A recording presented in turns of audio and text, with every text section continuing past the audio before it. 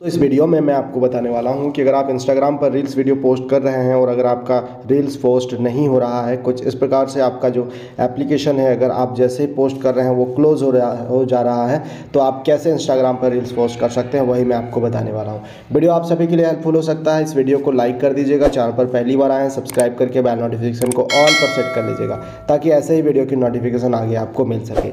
देखिए दोस्तों, सबसे पहले तो मैं अपने इंस्टाग्राम एप्लीकेशन को यहाँ पर क्लोज कर लिया। आप देख सकते हैं यहाँ पर मैंने इंस्टाग्राम एप्लीकेशन को ओपन किया। अभी दोस्तों, अगर हम कोई भी रील्स वीडियो पोस्ट करने की कोशिश कर रहे हैं तो दोस्तों, वो पोस्ट नहीं हो पा रहा है। मैं आपके सामने आपको दिखा रहा हूँ। आप देख सकते हैं यहाँ पे मैंने प्लस वाले आइकन पे क्लिक किया। नीचे आप देख सकते हैं यहाँ पे स्टोरी का ऑप्शन है। इसके अलावा देख सकते हैं रील्स का ऑप्शन है। तो सिंपली हम रील्स वाले ऑप्शन पर क्लिक कर लेंगे। आप देख सकते हैं रील्स के ऑप्शन में हम आ गए हैं। अगर मुझे कोई भी रील्स वीडियो पोस्ट करना है, मान के चलिए यहाँ पे मुझे कोई रील्स बनाना है एक इमेज को लेकर के तो मैंने इस इमेज को ले लिया। आप देख सकते हैं, ये इमेज हमने सेलेक्ट किया। अभी आप देख सकते हैं यहाँ पे आप जो भी ऐड करना चाहते हैं, इसमें आप टेक्स्ट ऐड कर सकते हैं म्यूज़िक ऐड कर सकते हैं इफ़ेक्ट ऐड कर सकते हैं। नेक्स्ट बटन पे हम क्लिक कर रहे हैं। अभी देख सकते हैं ये प्रॉब्लम आ जा रहा है। इंस्टाग्राम किप्स स्टॉपिंग और कुछ इस प्रकार से अगर आप भी इंस्टाग्राम पर रील्स वीडियो पोस्ट कर रहे हैं और ये आपका प्रॉब्लम आ रहा है कि इंस्टाग्राम रील्स स्टॉपिंग तो आप कैसे दोस्तों इंस्टाग्राम पर रील्स वीडियो पोस्ट कर पाएँगे, वही आपको इस वीडियो के माध्यम से बताऊँगा।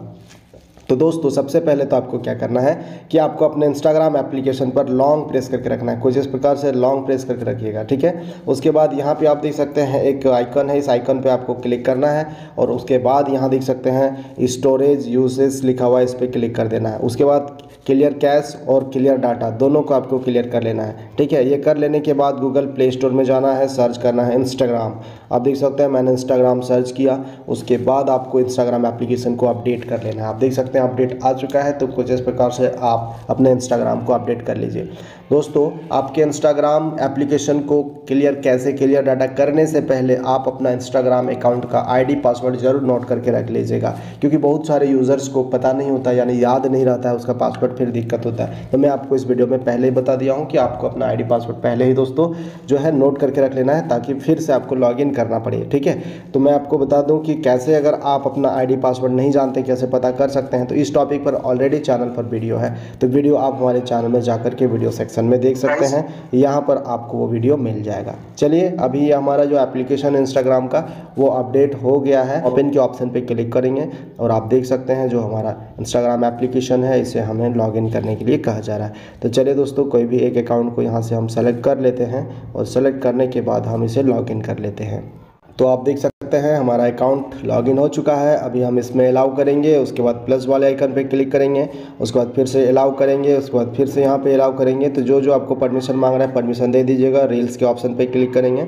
अब हमें दोस्तों, जो भी यहाँ पर हमें पोस्ट करना है, वो पोस्ट को हम सेलेक्ट कर लेंगे। जैसे कि आप देख सकते हैं, मैं इस रील्स को पोस्ट करूँगा सॉन्ग्स के साथ तो हम म्यूज़िक के ऑप्शन में जाएँगे और यहाँ पर कोई भी एक सॉन्ग एड कर देते हैं।